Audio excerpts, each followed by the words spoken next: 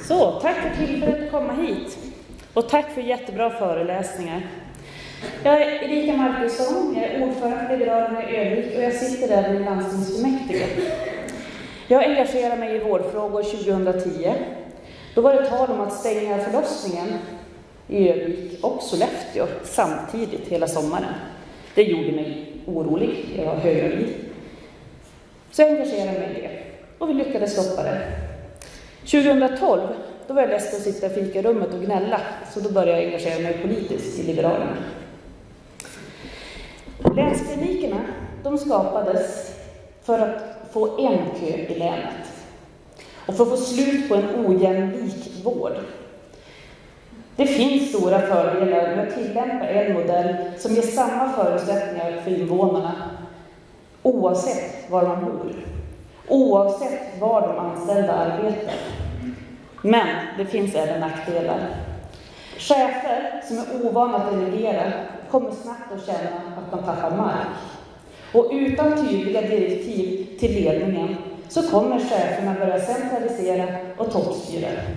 Och då hamnar man rätt snabbt i en hierarkisk vardag som dödar själen och arbetsglädjen.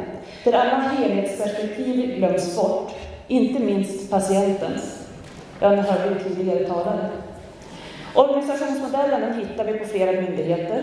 Det finns positiva exempel från Skatteverket och det finns mindre positiva exempel hos polisen. Vi signalerade tidigt att den ledningsstruktur som infördes i länsklinikerna, den motsvarade inte våra förväntningar. Och jag skulle så gärna vilja säga att vi på måndag kan se en organisation som motsvarar alla era förväntningar, som möter alla behov.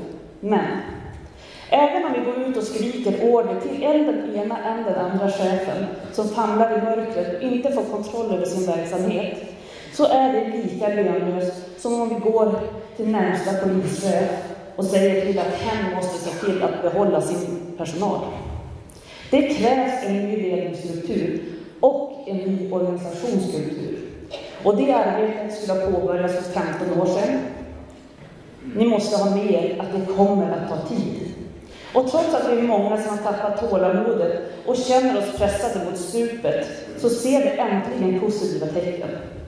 Vi liberaler vill hitta en lösning för framtiden med delegerat ansvar där den anställde får mer inflytande och insyn, där medarbetaren uppmuntras till innovation och utveckling och kan se sin betydelse för helheten. Vi vill se att vår region växer genom samarbete med varandra och med närliggande regioner. Övik och Umeås samarbete är en framgångsfaktor för våra regioner. Det samarbetet ska utvecklas. Men viktigast av allt, Vilka dina över? vård i